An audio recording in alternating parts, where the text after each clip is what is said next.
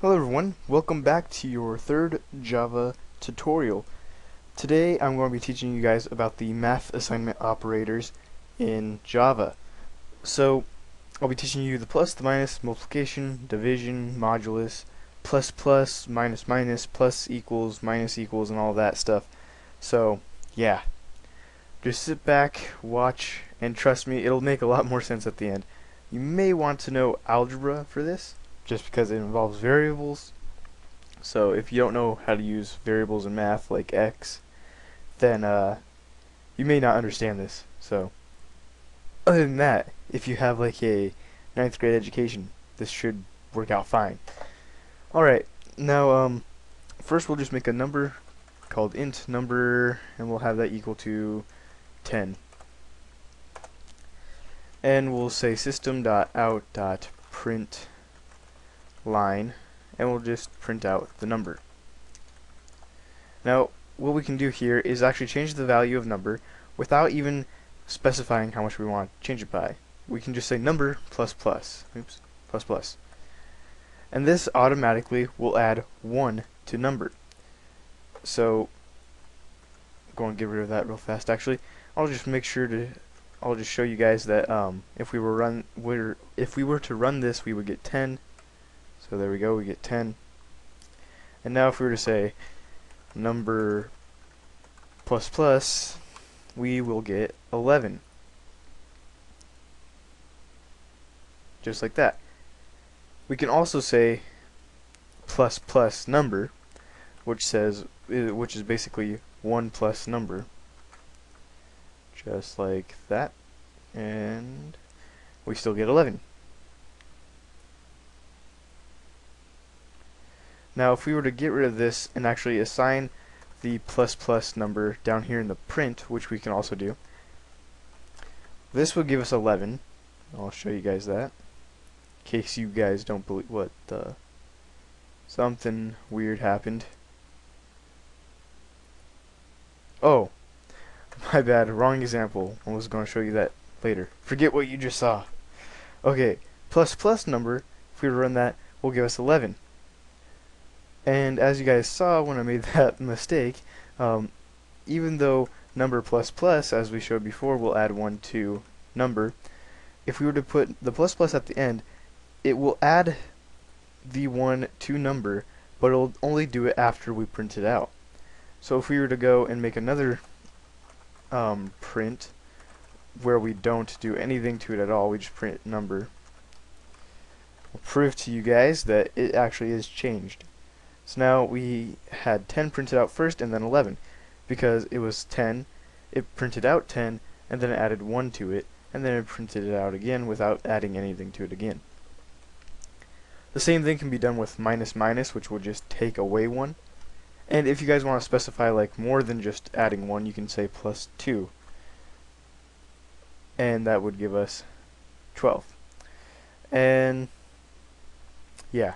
That does not however reassign the value of number altogether. As you see here, number plus 2 will make it 12 up here, but number is still 10.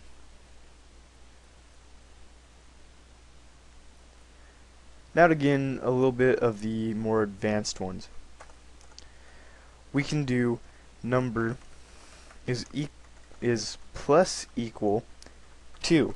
Now this will give us 12, um, oops, semicolon, this will give us 12. Basically what it does is it takes the value of number, which is 10, and adds 2 to it, and makes it 12, and then assigns 12 to number.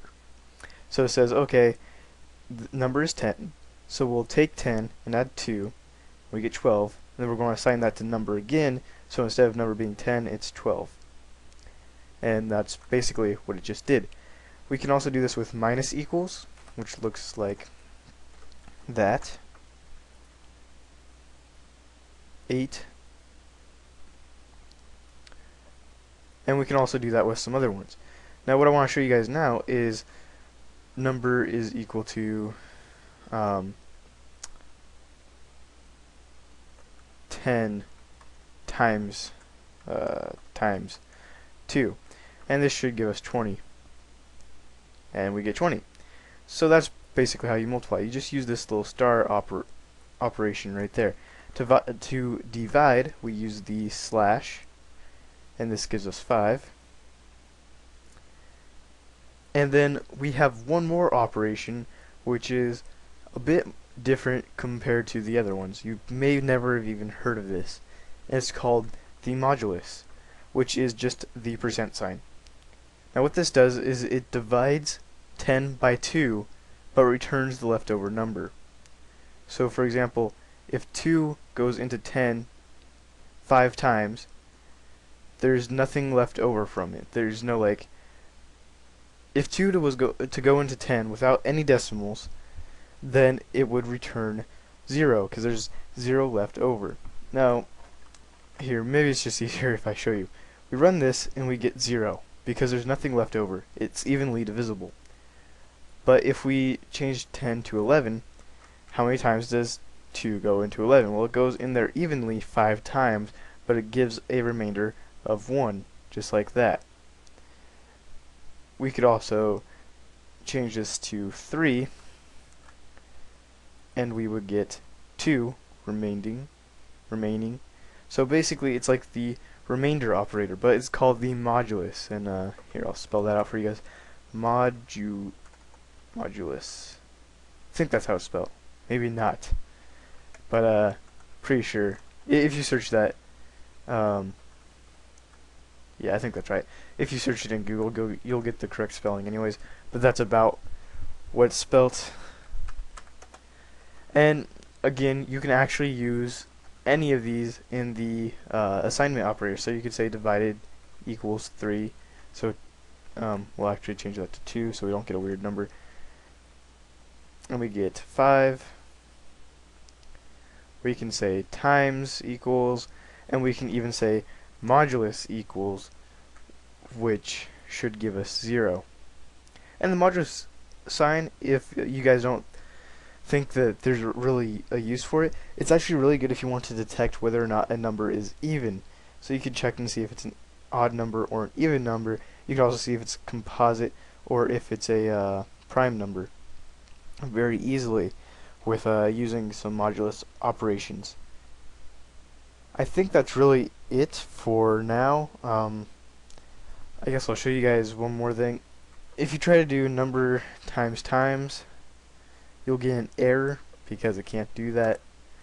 Um, also, if you divided divided, you'll get another error, and modulus modulus will also give you an error. So it doesn't work for those. It really only works for plus plus and minus minus. So what I want you guys to do after you get done watching this is follow along with what I did and then experiment with it. See like what other things you can do. If there's uh, any difference in it, if you did like equals modulus or equals plus and stuff like that, what's your outcome? What kind of errors do you get if you delete certain things? And then try and figure out what those errors mean. Anyways, thank you guys for watching. I hope you enjoyed. If you like the video, press the like button.